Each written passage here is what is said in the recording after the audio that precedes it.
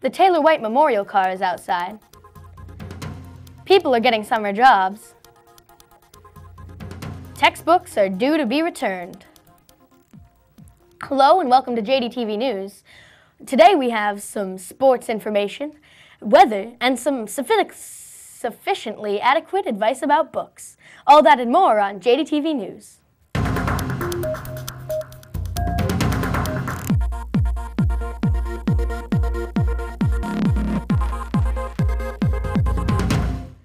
As of May 18th, textbook returns begin, and all books must be returned by May 28th, unless you're a senior, in which case your textbooks need to be returned by Thursday, May 21st.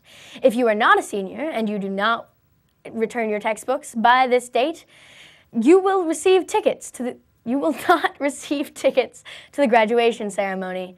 In addition to this, access to PowerSchool will be denied until books were returned. So the main point I'm trying to get across to you is that you should return your books. And after you return your books, be sure to pick up a yearbook. There's a limited supply of yearbooks, but you can get one for yourself at the activities office. A 2015 yearbook costs $85 but it's probably worth it. I mean, if you want to remember this past year, that is. You might not want to remember it. You might spend the rest of your years trying to repress the memory instead. I probably will. Who knows? The point is, yearbooks can be purchased in the activities office. Sealaska Heritage will be having an annual Latseen Leadership Academy starting on July 6th and ending on July 19th. It will be held at UAS. Applications for this event are due by May 22nd or next Friday. If you want more information on this event, you can stop by the Career Center and talk to Terry Calvin. Now, on a more somber note, you've probably noticed that the Taylor White Memorial car has been outside in the parking lot since Monday. The car that is out front is the very car that crashed on June 25th, June 5th, excuse me, 2009. The car is put out there as a memorial to Taylor White and as a reminder to students not to drink and drive. Have you ever been alive during the summer? And you're just sitting there and you're really bored and you want money, but you're not a Kardashian?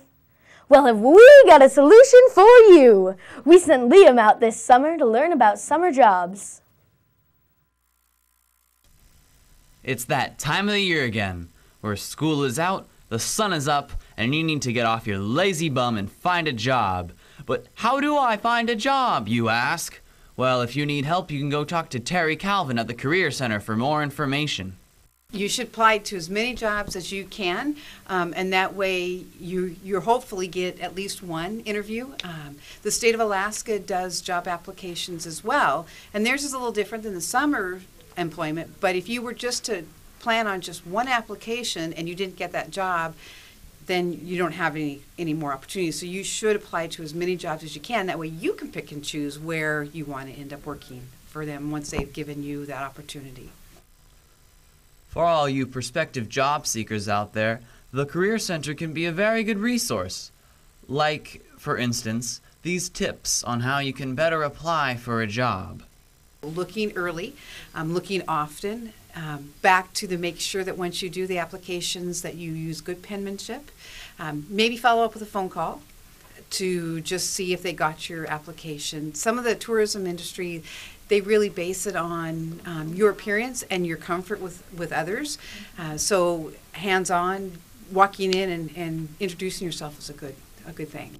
And now I hope to see a good number of you at your new summer jobs.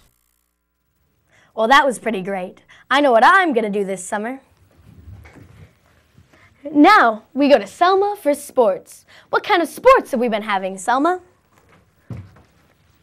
Well, Selma, this past weekend there were lots of sports, and even more wins. The softball team went to Anchorage last weekend with great success in the big city. They beat Homer 5 to 15 on Friday. They also beat Chugiak 16 to 4 on Friday. They went on Friday, they played Service and won 4 to 1. They beat Dimond 5 to 5, 15 to 5 on Saturday morning. Our baseball team played Petersburg and won 4 to 0 on Wednesday. From hitting to kicking, on Friday, the boys' soccer team played Ketchikan and won 7 to 0. They played again on Saturday and beat Ketchikan 2 to 1. And now for the sports segment, I, Selma, will attempt to do one whole push up.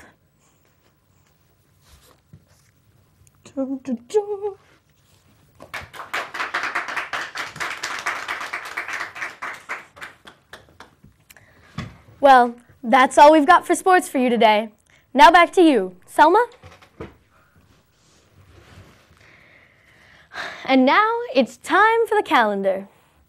Today, softball is in Sitka, track and field is in Ketchikan, and boys soccer is playing Thunder Mountain. Uh, tomorrow, the same thing is happening, and there will be Super Saturday makeups for PE. On Wednesday, there is a student recognition ceremony from at 12:25 and a music concert at 7. On Thursday, boys soccer is in Ketchikan. Let's go to the weather. How's the weather looking out there? Selma?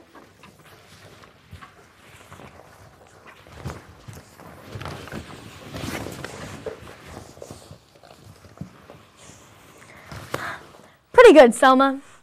Today it will be high, sunny with highs around 66, and tomorrow it will be partially cloudy with highs around 45, 65, and lows around 44. Looks like I won't be needing this anymore.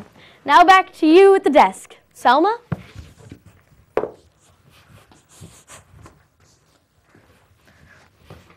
Awesome. Thanks, Selma. Well, that's all we've got for you today. But if you want to check out more of this fabulous show, you can visit our website at jdhsvideo.org and follow us on Twitter at jdhsvideo. My name is Selma, and this has been JD TV News. Be sure to tune in next week for our special end of the year edition of The Senior Show. Goodbye.